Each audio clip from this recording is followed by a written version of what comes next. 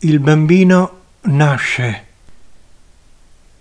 Cerchio Firenze 77 attraverso Roberto Setti, Scuola del Cerchio Firenze 77 a cura di VB.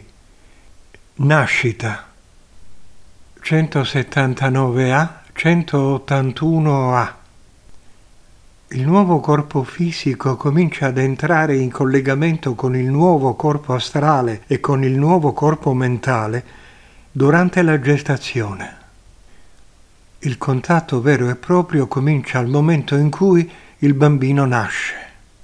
Il contatto con il corpo fisico principalmente, ma anche con il corpo astrale e con il corpo mentale. Prima con il corpo astrale, secondo le varie fasi, il contatto con la coscienza o corpo acasico, vedi, il corpo più elevato, si può dire completo intorno ai 21 anni 58 G.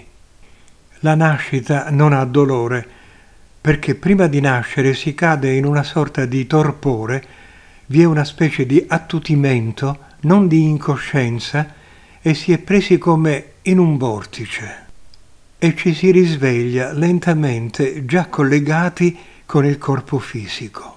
C'è questo risucchio, questo vortice che prende nel momento in cui un essere deve incarnarsi. E a mano a mano che è preso in questo vortice, dimentica quello che sapeva fino ad allora, interviene l'oblio, rimane solo il senso di esistere, solo il sentirsi di esistere, che è eterno.